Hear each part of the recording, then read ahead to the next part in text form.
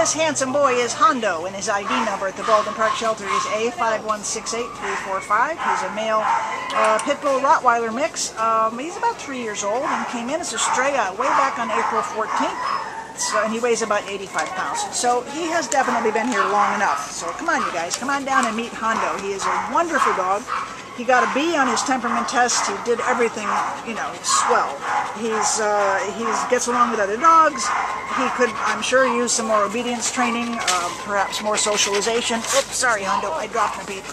Here you are, good boy. What can you tell us about him when you handle him today? He was easy to get out of his kennel. He's Yeah. a friendly dog. He is, uh, as you said, 85 pounds, I believe. Yep. Yeah. So he's uh, he's a strong one. Yeah. Um, but he he obeys and uh, he's just he's like a gentle giant. Right, yeah. Yeah, no, he's gorgeous and seems very, very sweet. Uh, the the uh, person who did the assessment, the, the uh, staff member here, said that he's highly adoptable, might need a little obedience training, but um, he's going to do possibly do best in a home with middle school kids rather than little little kids, only because he's so strong and big, Yeah. and he could inadvertently, you know, knock you down. he could inadvertently knock me down if he tried. he's just he's just a great looking dog, and just a sweetheart. Look at you. Well, that's pretty good. You're very calm about that. Yes, some dogs are crazy.